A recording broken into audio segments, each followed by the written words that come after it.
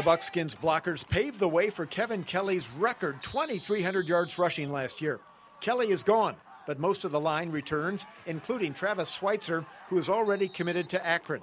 He'll play line, fullback, tight end, anywhere he can lead the blocking parade. It was fun. Um, it was the first time I've done that for a while because I've usually just been an O-line, D-line guy, you know, ever since you know ever since midgets.